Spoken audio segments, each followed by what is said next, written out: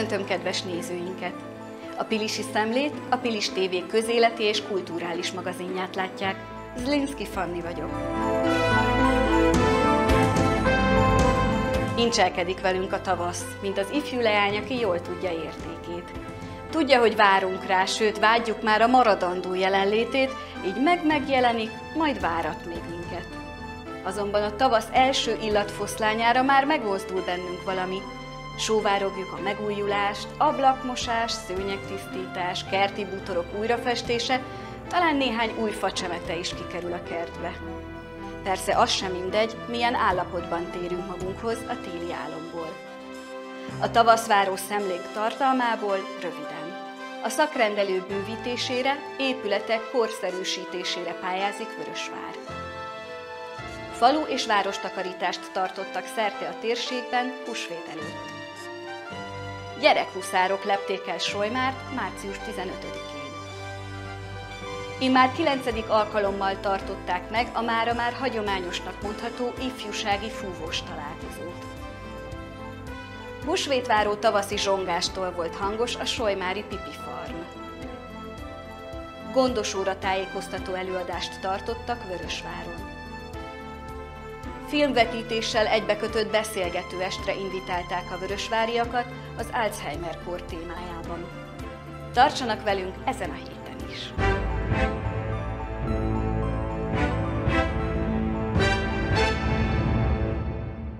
Március 14-én tartotta meg márciusi rendesülését Pilisvörösvár önkormányzata.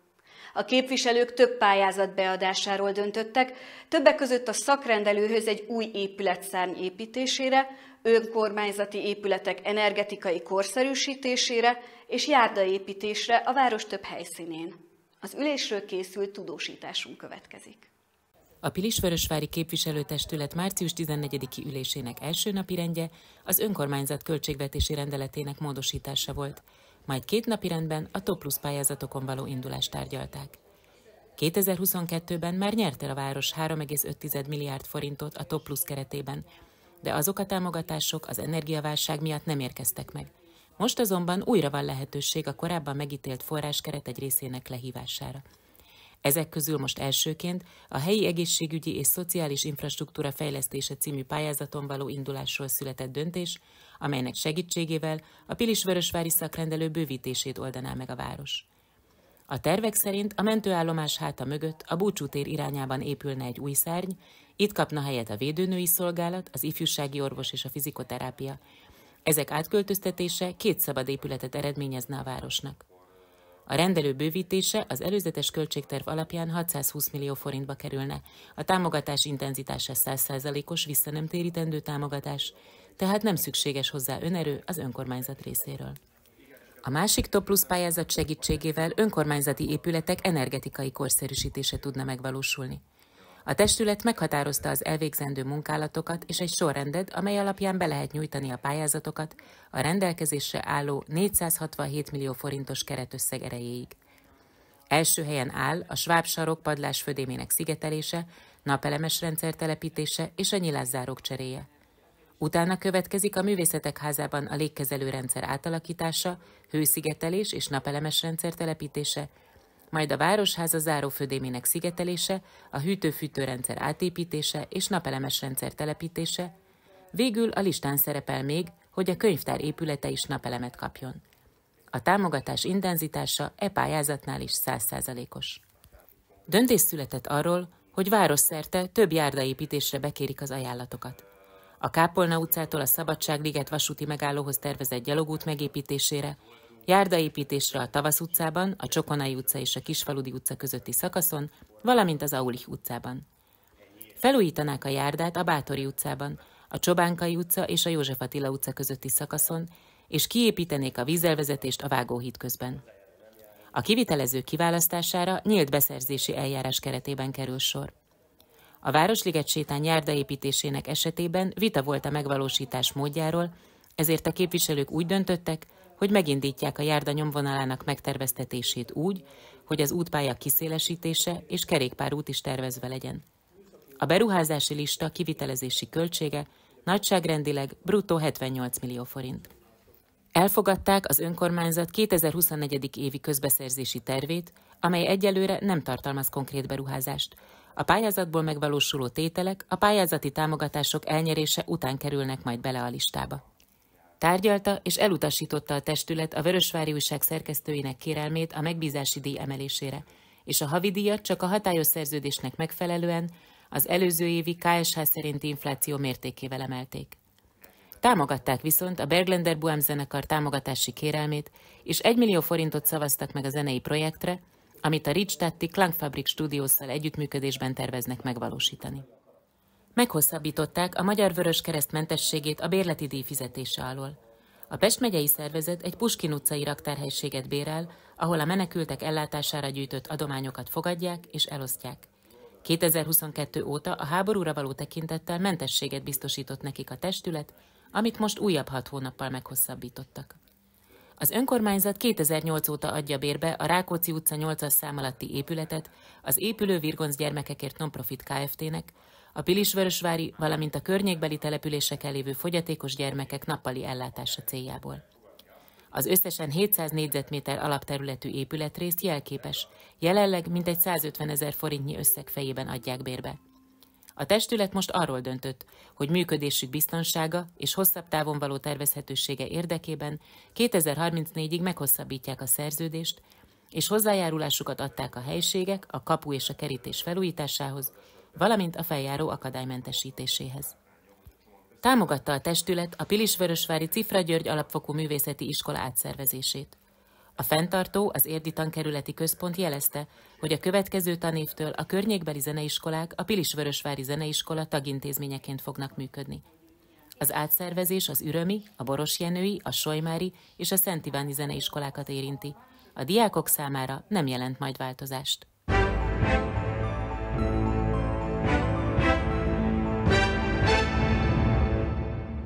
Húsvéthoz közeledve hagyományosan a lelki megtisztulás mellett a lakókörnyezetünkre is kiemelt figyelmet fordítunk.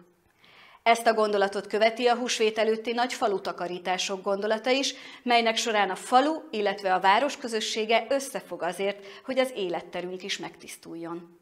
Idén stábunk Pilisvörösváron, illetve Pilis Szent Ivánon tartott a szemétszedőkkel.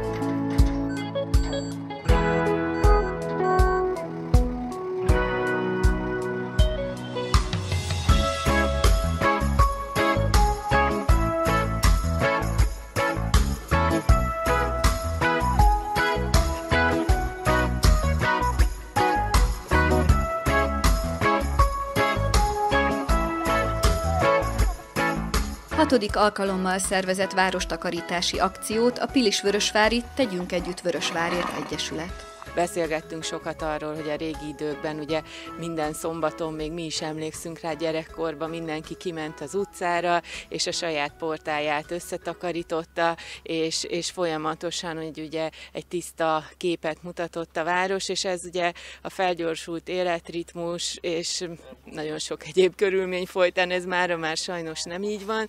Először a főúttal kezdtük, ugye a tízes út nagyon koszos volt, úgy jött az ötlet, hogy a főutat takarítsuk meg, és ezt kiegészítettük végül is egy szemétszedési akcióval is, amit ugye most hatodik évvel évet csinálunk. Egyre kevesebb a szemét, de azért még, még mindig van bőven feladat, és az, hogy egyre kevesebb a szemét, az azért is lehet, mert vannak nagyon sokan jó akarok Vörösváron. Kocor Miklós nem először vett részt a nagy munkában. 2022-ben Pilisvörösvárért emlékérmet is kapott, a Kálvária domb megtisztításában vállalt jelentős szerepéért. Két éve, amikor nekiálltunk itt nagyon sokan különben, eh, Megyesi Zolival, elkezdtük itt kitakarítani itt a, a régi bányánál a, a felhalmozott szemetet, és aztán egy eh, délelőtt dolgoztunk rajta, és rájöttünk, hogy ez így, ez így sose lesz kész. Eh, úgyhogy akkor az önkormányzattal együtt itt a helyi, helyi lakosokkal összefogva sikerült hosszú-hosszú hetek és hónapok munkával megtisztítani. Pont most Kata felvilágosított, hogy közel 300 köbméter szemetet szállítottunk el innen. És a jó hír az az, hogy tartja magát a terület azóta is. Folyamatosan bővül a résztvevők száma, sőt évről évre egyre több egyesület is csatlakozik hozzánk, cégek is támogatnak minket, és a lakosság részéről is nagyon sokan csatlakoznak. Például az idei évben már most reggel elfogyott az a kesztyű és zsák mennyiség, amit az elmúlt években készítettünk, úgyhogy már pótolni is kellett a készletet, de ez külön öröm nekünk. Mi vagyunk a nyugdíjasok. Az idei évben még több helyen helyeztük ki a konténereket is, általában három helyen volt eddig kihelyezve, és idén már öt helyre kerültek ki a konténerek, de bárhonnan a városból, ha telefonál valaki, hogy ők szemetet szedtek, akkor kimegyünk és összeszedjük onnan is a zsákokat. Szeretném megköszönni mindenkinek, aki részt vállal és aki csatlakozik hozzánk. Bízom benne, hogy nem felejtek ki senkit, és sikerül mindenkit felsorolni, tehát csatlakoztak hozzánk az intézmények, intézményeink is, a Palánta általános iskola, a Templomtéri általános iskola. Ma reggel nagy örömmel jöttem ki az utcára, és láttam, hogy az egész templomteret ellették a gyerekek, tanárok, szülők, úgyhogy ez is egy nagyon jó közösségépítő dolog. Ezen kívül tegnap mind az öt óvoda is város szerte az óvodáikhoz közeleső területen szedték a, a szemetet. Céges támogatóink is vannak, az UBM is csatlakozott, ezen kívül Hofstetter Gábor egy seprőautót ajánlott föl, ami itt az iparterületi részeket fogja megtakarítani.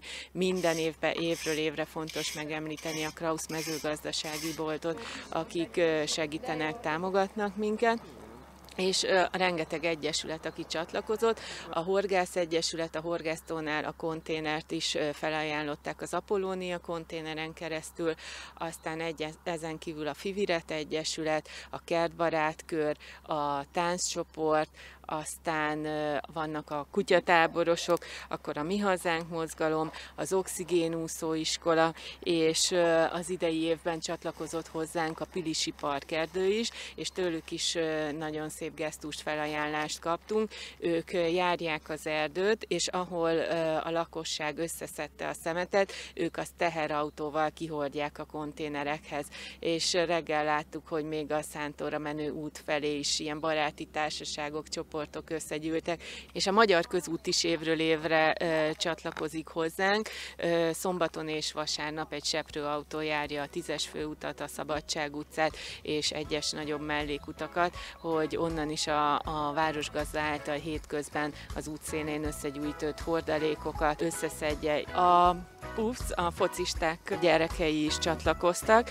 Ők takarítják meg a sportpálya körüli lakóövezetet. Nagyon cukik a gyerekek, ilyen zsákokkal láttam a Szent Erzsébet utcába, a Béke utcába, ezt az egész területet takarítják meg. Rendszámtáblát is találtak, úgyhogy nagyon boldogok, hogy mindenféle kincsekre leltek ők is.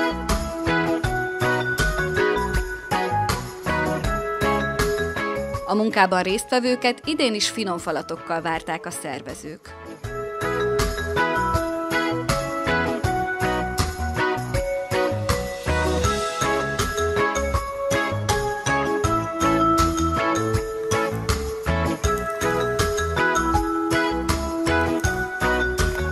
Fontos a környezettudatos nevelés, hogy példát mutassunk a kisebbek számára is. Pontosan ezért volt öröm, hogy látni a templom téren is a, a gyerekeket, akik, akik szedik a szemetet, és nem mindegy, hogy milyen példát mutatunk, és ugyanakkor várva a húsvéti ünnepeket, azt gondolom, hogy az is egy megtisztulás, tehát hogy ahhoz is kapcsolódva fontos, hogy, hogy egy tiszta ünnepre méltó környezetben ünnepelhesse a város is a húsvéti ünnepeket. Sziasztok gyerekek! Sziasztok! Mit csináltok éppen itt a téren? Hát szedünk. Szemetet szedtek? És anya mondta, apa mondta, hogy ide gyertek, vagy magatoktól azt gondoltátok, hogy jó lenne itt segíteni? Magatunk. Magatoktól? Fontos, hogy a gyerekek is részt vegyenek benne? Igen.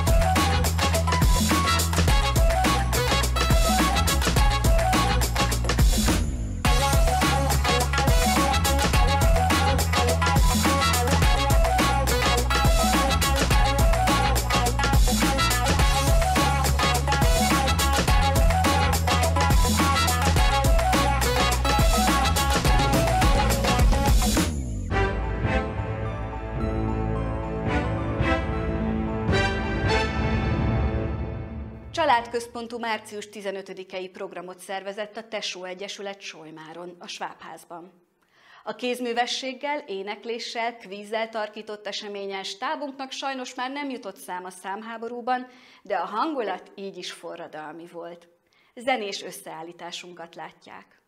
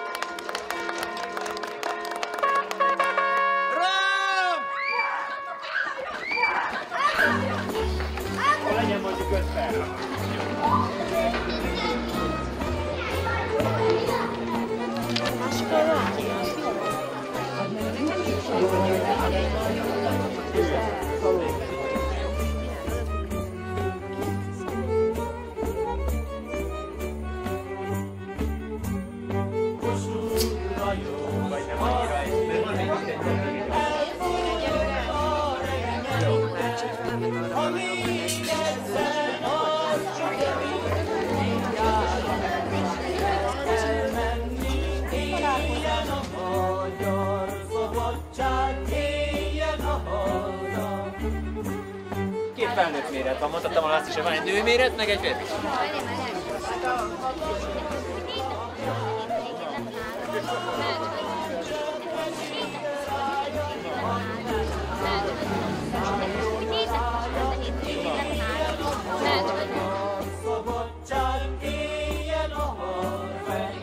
Elhajtásos pálcákkal megyünk körbe, úgy, hogy minden lukba kétszer öltünk. Azelőtt előbb Nem kell arattika szállni, csak a lányok után járni. Nem kell arattika szállni, csak a Szebedbe, Kossuth Lajos, fújja nyugodtan, azt üzente, elfogyott a regimentje,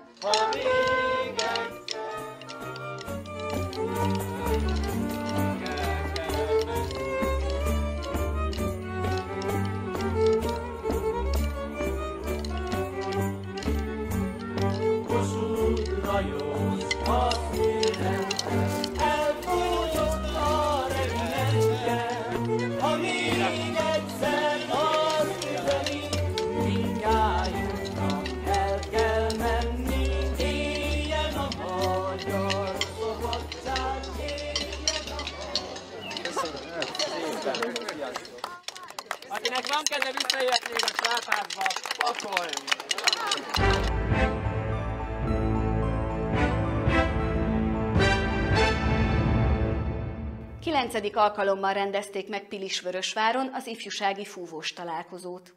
A délután során fellépők érkeztek Solymárról, Pilis-Szentiváról, Pilisvörösváról, sőt, még Mátészalkáról is. Kozek Balázs, a rendezvény főszervezője elmondta, hogy nagyon fontosnak tartja a környékbeli ifjú muzsikusok összeismertetését, hisz az itt születő barátságokból alakulhatnak majd a jövő hagyományőrző együttesei. Az ifjúsági találkozó fellépőinek produkcióit megtekinthetik a Pilis Televízió műsorán.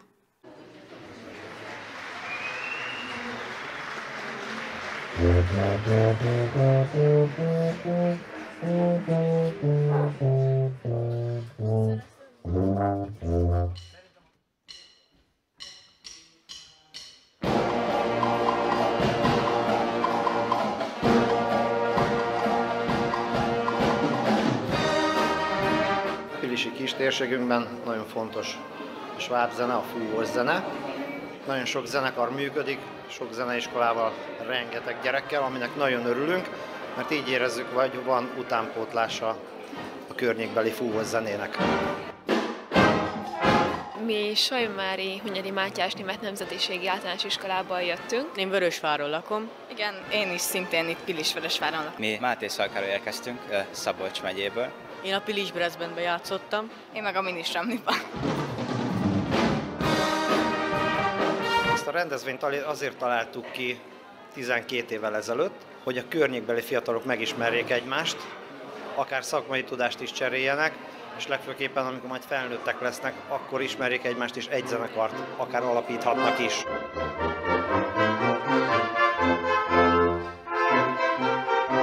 Van már több zenekar, akik ebből a zeneiskolából, illetve Szent Iván és Olymári Vörösvári zeneiskolából alakultak ki, de a legtöbben a környékbeli, mondhatom megint, hogy Szent Iván, Solymár, Vörösvár felnőtt fúvó zenekari, zenekaraiba mennek tovább.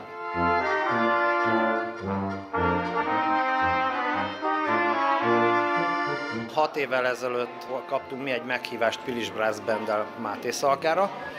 Azért hívtak meg minket, mert ott csak vonós tanszakok voltak a zeneiskolában, egyáltalán nem volt fúvós zenekaruk, és fúvós oktatás volt.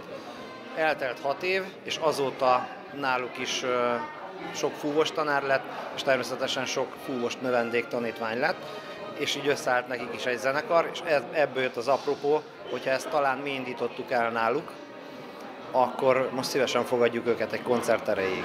Rendkívüli uh, esemény volt, mivel én ilyen messze még uh, nem léptem fel a zenekarra. Egyre több fiatal csatlakozik, mivel megtapasztalja, hogy milyen ez az egész, egy közösségben együtt zenélni, és így örömöket átélni. Igen, nagyon jó volt a koncert elejétől a végéig, minden zenekar megállta a helyét, nagyon örültem neki, és a végén természetesen jó volt két zenekart együtt, közösen hallani, jó volt vezényelni őket. Én láttam a csillogó szemeket, hogy ők örülnek, hogy együtt zenélhetnek. Itt már megint baráti kapcsolatok alakulnak ki, pedig nagyon messze alakunk Máté Szalkától, de ennek lehet, hogy még lesz jövője, és talán lesz, lesznek baráti kapcsolatok.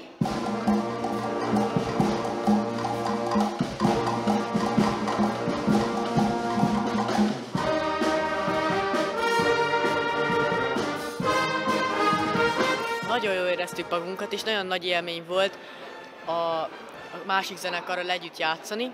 Nagyon jól éreztük magunkat, már több éve meg vagyunk hívva erre az eseményre, és szerintem minden évben nagyon jó és nagyon jó élmény. Én a Minisramliba játszottam, ugye, és hát nekem azt tetszett az egész rendezvény, hogy nagyon sok zenekar volt, és hogy megkaptam ezt a lehetőséget, hogy konferáljak. Akkor gondolom legközelebb is jöttök. Mindenféleképpen jönni fogunk.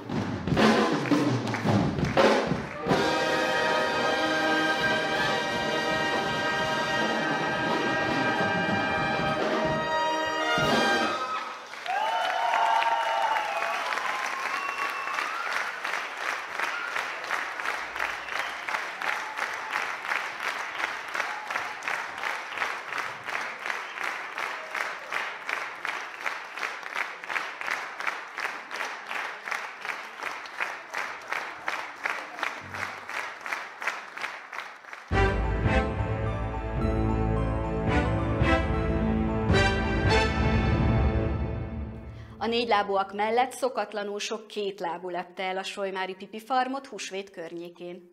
A játékos feladatok és végtelen állatsimogatás mellett szó esett arról is, hogy miért érdemesebb bérelni a nyuszit húsvétra. Fogadják szeretettel helyszíni riportunkat. És ki lehet festegetni, itt akinek van kedve, a szülők segítségét kérve, ennél a két asztalnál lehet festegetni. Az, aki a többi asztalnál meg.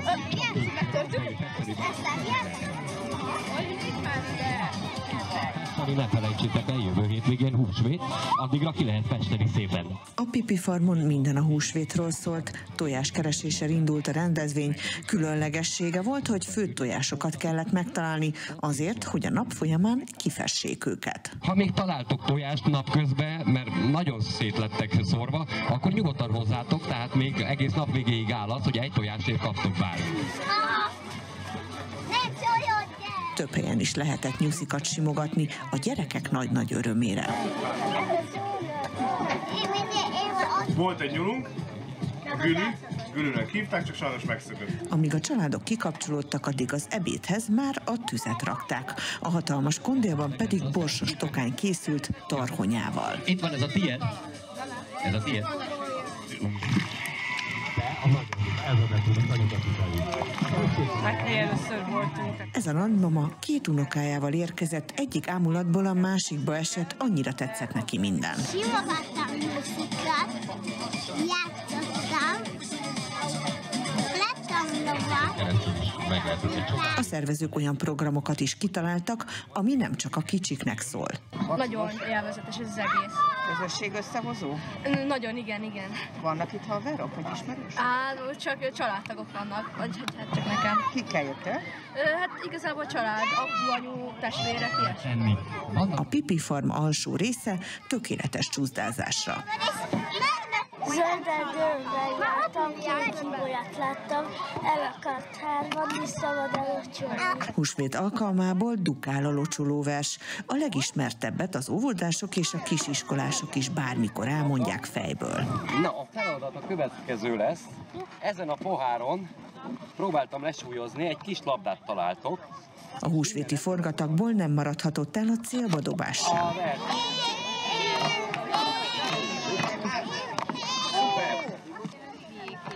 A vers.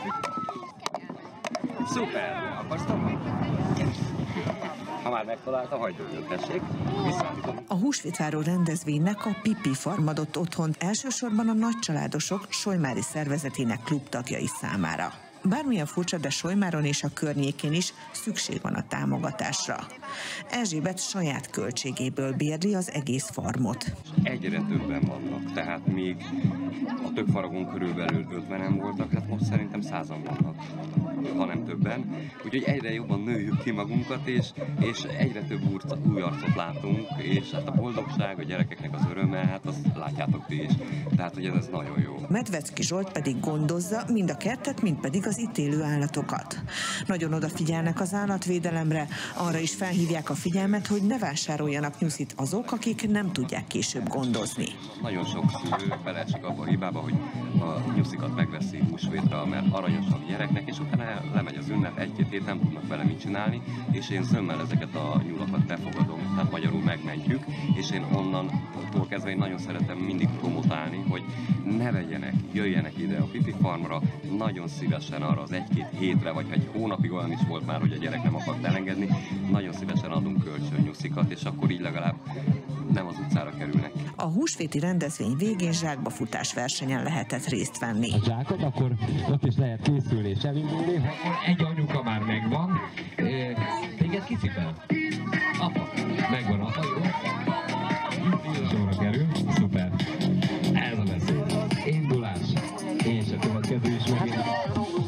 Anyukákra én büszke vagyok.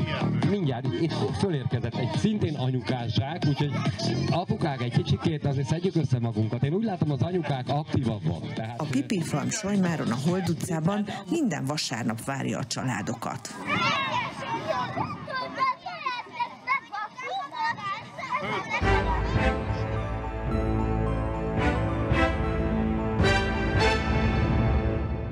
Segítség egy gomnyomással hirdeti a gondos úr a szlogenje. Az interaktív bemutatóval tarkított előadáson szó esett a Gondos Óra program lényegi elemeiről, a regisztráció folyamatáról, de még a gyakori tévhitekről, illetve hibákról is. Egyébként, hogy kinek van már gondos órája? Nagyszerű, nagyszerű. Hát Regisztrációs lehetőséggel egybekötött tájékoztató előadást tartottak Pilisvörösváron a Gondos Óra programról április 5-én. Egyébként az önök településén 2009 2914 65 év feletti honfitársunk lakik, és ebből 703-an már regisztráltak. Az előadást dr. Fetter Ádám polgármester hívta meg a Művészetek Házába, és ajánlotta a településen élő idős lakosság figyelmébe. Kiemelten fontos az idős korosztály eh, testi, lelki eh, jóléte, épsége, egészsége.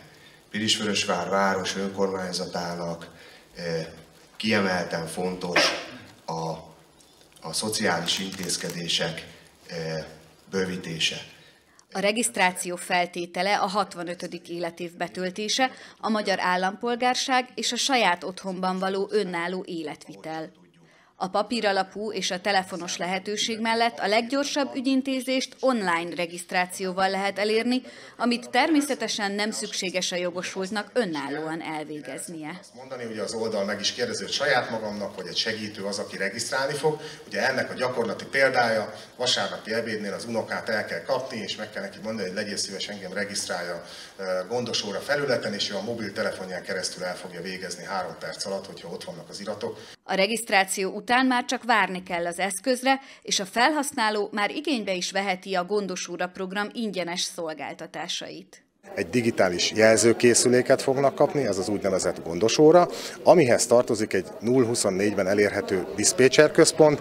Egyetlen egy gomb van ezen a készüléken, ahogy ugye a jelmondatunk is tartalmaz, hogy segítség egy gombnyomással. Értelmszerűen úgy fejlesztettük ki ezt a készüléket, hogy a lehető legkönnyebb legyen segítséget kérni a felhasználóknak, és amit fontos hangsúlyozni, hogy itt ne mindig a legszélsőségesebb esetekre kell gondolni, hogy e, súlyos életveszély, balesetveszélyes helyzet. Nyilván ezek, amik a legnagyobb sajtónyilvánosságot kapják, és tényleg tízezer fölött van már azoknak az eseteknek a száma, ahol életmentésre került sor, hanem ugye a programnak a célja az, hogy az idősek a saját otthonukban tudjanak minél tovább tartózkodni, és ehhez egy kis őrangyal legyen velük, ami biztonságot nyújt a hétköznapi, mindennapi életben. Tehát bármilyen olyan probléma, ami a napi életvitel során fölmerül, abban lehet segítséget kérni a diszpécser központtól, egészen a tűzifarendeléstől, elkezdve a gyógyszerbeszerzésen át bármilyen más szociális probléma probléma terén. A segélyhívó gomb 4-5 másodperces nyomvatartás után hívja az éjjel-nappal 0-24 órában a hét minden napján működő diszpécser szolgálatot. Ugye egy kicsi eszközről beszélünk, hatalmas tudással, ahogy említettem, GPS hely meghatározás, elesés érzékelő, töltésjelzés, ezek ugye mind olyan funkciók, Magyarország teljes területén való működőképesség, amik már több mint tízezer esetben életet mentettek. Tehát itt ebben az esetben nem kell félni, és amit szeretnék még hangsúlyozni, a szolgáltatás teljes mértékben ingyenes. Ha elindul a hívás véletlenül, tévedésből, semmi nem történik, a diszpécser be fog jelentkezni, el kell mondani, hogy téves hívás történt, és el fog köszönni, semmi nem történik, nincs semmi probléma, nyugodtan ki is lehet próbálni a készüléket. Nagyon fontos Pilisvörösvár önkormányzata számára a idős korosztály jóléte, biztonsága és e, szociális helyzete. Nagyon szépen köszönöm, hogy ilyen szép számmal eljöttek. Az előadás után sokan döntöttek a regisztráció mellett. Nővéremnek van gondosóra, és úgy gondoltam, hogy akarok kérni regisztrálni, ennyi. És volt, volt már élőben uh, hívása a nővérének? Esetleg? Igen, volt. Volt segítséget kért a nővérem az izétől a diszpécsertől. És sikeres volt? Igen, sikeres volt. Javar és csupa idős ember van, ugye? És hát azért az ember a családjára is gondol, hogy még szeretné látni unokákat, dédunokákat, úgyhogy ezért gondoljuk, hogy regisztrálunk, mert azért a kor az betegséget is hoz magával, úgyhogy ezért gondoljuk. És van az ismeretségi körben már gyakorló gondos órás? Nincs sajnos, és azért jöttünk meghallgatni az előadást, és regisztrálunk. Így van. 50 éve vagyunk barátok, és neki nagyon rossz volt a vérnyomása, vérkeringése. És a fia javaslatára kapott egy ilyen órát, bár az előadás során több igazán megérintő történetet hallhattunk, a résztvevők mégis tagadhatatlan jókedvel térhettek haza. Jaj, nélküled még a mennyország is vár. Nem megyek egyedül oda, nem hagylak el. A Gondosóra tájékoztató délután teljes felvételét hamarosan megnézhetik a Pilis Televízió műsorán.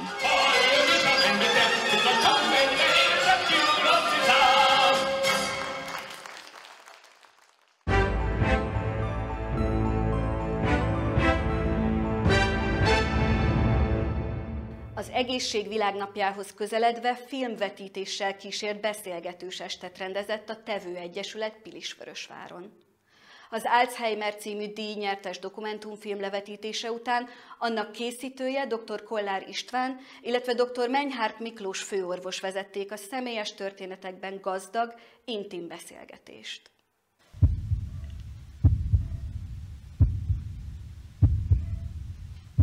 Kollár István díjnyertes Alzheimer című filmjét vetítették le április 5-én Pilisvörösváron. Ez egy nagyon furcsa betegség, és nagyon nehéz felfogni, hogy, hogy mi is történik, és ez nem a beteg betegség, hanem inkább a hozzátartozó betegség, illetve a hozzátartozó problémája. És én azt gondolom, hogy a, a tudást, tehát hogyha tudjuk, hogy mi a következő fázis, egy picit könnyebb túlélni, és a filmnek igazából ez az elsődleges célja, hogy bemutassuk, hogy van ez a betegség, meg milyen lefolyású ez a betegség. Az eseményt szervező tevő egyesületnek nem titkolt szándéka volt a betegség tabusítása elleni küzdelem. Napjaimban egyre többet lehet olvasni erről a betegségről, és egyre elszomorítóbbak a mutatók és a számok, hogy milyen drasztikusan növekszik a, betegek száma. Aztán részben számomra személyes érintettség oka is volt, amiért fontosnak tartottam, mert nagyon sokan nem mernek beszélni erről a betegségről, és így, hogy átéltem többszörösen, ezért úgy gondoltam, hogy, hogy ennek van létjogosultsága itt is, hogy beszéljünk róla, és hogy közvetítsük azt, hogy hogy merjenek beszélni róla az emberek. Kezemben nyomtak egy kitűzőt, egy nagyon egyszerű kitűzőt, hogy azzal a felirattal, hogy nem vagy egyedül, én bizony elsírtam magam. A filmvetítés utáni beszélgetést a film alkotója mellett dr. Menyhárt Miklós vezette, aki magyarországi állásai mellett a Kommerszi Kórház neuropszichológus osztályvezető főorvosa is Franciaországban. Francia diplomáját Alzheimer differenciál diagnosztikából szerezte.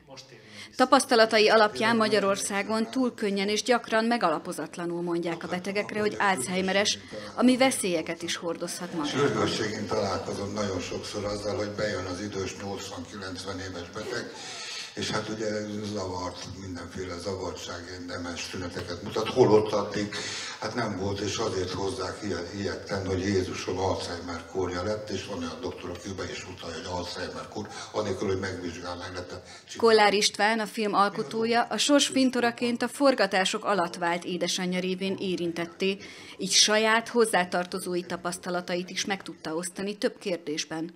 Például, hogy mit is érezhet egy Alzheimeres beteg. Azt mondták nekem, hogy képzeljék el azt, hogy most csukját húznak a fejemre, és leraknak mondjuk Afganisztán közepén. Hát az első dolog, amit érezni fogok, az az, hogy nem belennék tojva. Ugye? És egy idő után egy dolgot fog, akarnék, hogy haza akarok menni. Na most képzeljük el egy ilyen beteget, hogy hiába ül otthon, hiába az 50 éve férje felesége szól hozzá, ő azt nem tudja. Ő Afganisztánban van. És hogyha ha erőltetjük, hogy te itthon vagy, ugye Haza akarok menni című nótára, mi is vitatkoztunk. Van, aki elviszi a gyerekkori házhoz például az adott illetőt. Itt azt kell felfognunk, hogy ő a haza akarok menni alatt azt a, azt a nyugalmat akarja, amit az otthon ad. Tehát nem, nem fizikálisan akar hazamenni. Tehát abban a pillanatban őt valahogy meg kell nyugtatni, akkor ugye jönnek ezek, hogy hozzá kell érni fizikálisan, stb.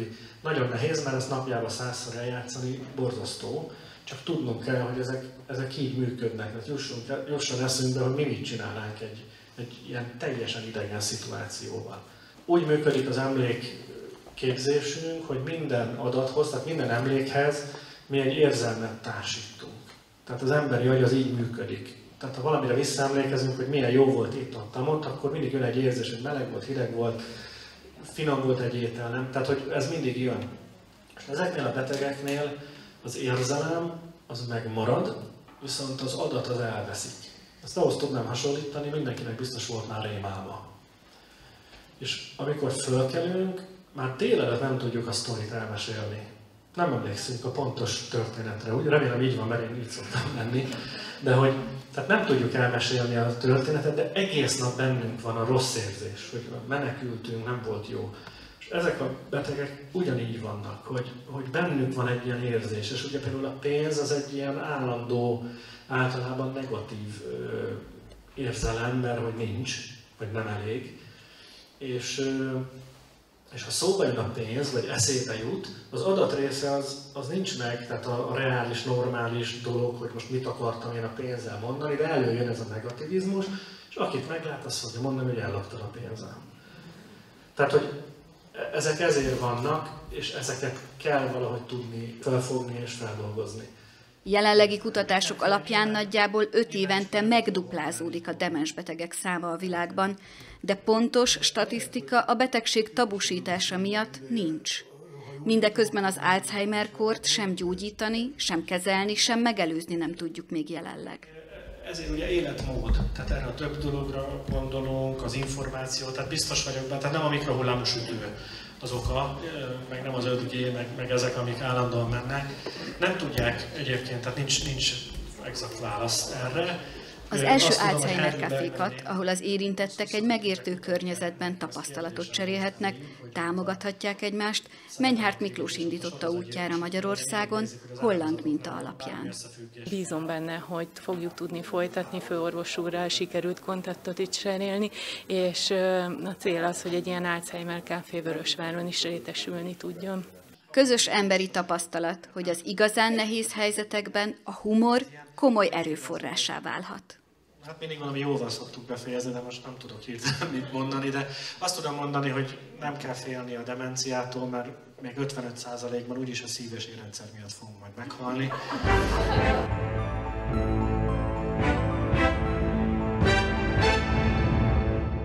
És most jöjjön egy kis ízelítő a térség áprilisi programjaiból. Idén is gazdag programkínálattal emlékeznek a környéki települések a Magyar Költészet napjára. A Solymári Könyvtárban április 11-én a Hangraforgó Együttes megzenésített versekből álló műsorát hallhatja a közönség, mely után Herceg Péter, a Nemzeti Színház színművésze, magyar költők verseiből készült verscsokrot nyújt át József Attila születésnapján. Pilisvörösváron meglepetés programmal indítják a Magyar Költészet napját, így bár részleteket nem árulhatunk el, de érdemes lesz mondjuk a vasútállomáson elfogyasztani a reggeli kávét 4-8 körül. Folytatódik a Pilis Szent Iván betelepülésének 300. évfordulója alkalmából rendezett előadás sorozat. Április 11-én a Szent Iváni német nyelvjárásról Mirk Mária beszél. Ne feledjék, a nagy érdeklődésre való tekintettel az előadás sorozatot már nem a tájházban, hanem az iskola aulájában tartják. Kutasd a múltad címmel interaktív levéltár ismertető, családfa és helytörténet kutatást bemutató klubfoglalkozások indulnak felnőttek részére április 11-én Pilisvörösváron, a Művészetek Házában. A három alkalmas klubfoglalkozás során a Nemzeti Levéltárból érkező előadó kifejezetten helyi kérdéseket, témaötleteket vár a résztvevőktől, és segít a hobbi kutatások elindításában. Április 12-től tekinthető meg Szalma Edith grafikus, illusztrátor különleges hangulatú kiállítása Vörösváron, a Művészetek Házában. A kiállítás megnyitót követően a művésznő grafikái és az általa illusztrált mesekönyvek megvásárolhatók az aulában. Vadadi Adrien írónővel keresik a választ a beszoktatás, leválás, első nap az oviban, suliban, hiszti, kistesóügy és még számos szülőket érintő kérdésre április 12-én a Pilis Szent Iváni községi könyvtárban. A részvétel ingyenes, de regisztrációhoz kötött. Közlekedésbiztonsági napot tartanak Vörösváron a Kacsatónál április 13-án. A látványos bemutatókon ezúttal a motorosoké lesz a főszerep. Érdemes családostul utána járni, mit főzött ki április 13-ára a Solymári Vivianus baráti kör. A délelőtt során arra keresik a választ, hogy vajon milyen ételeket ettek a Solymár területén élő rómaiak. A résztvevők egy közös szabadtéri főzés során nem csak elméletben, hanem gyakorlatban is kipróbálhatnak néhány korabeli receptet.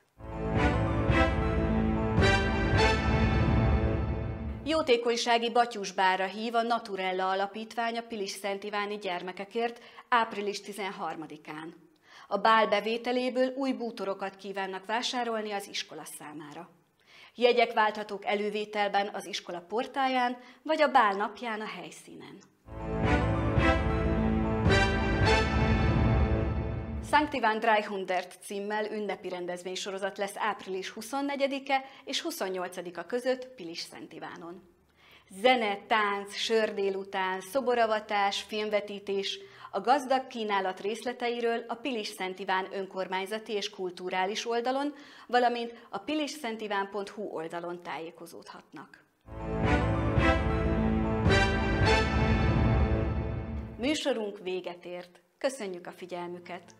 Műsorainkat követhetik a Pilis televízióban, illetve visszanézhetik bármikor a YouTube csatornánkon, valamint a Facebookon. Tartsanak velünk legközelebb is, a viszontlátásra! Thank you.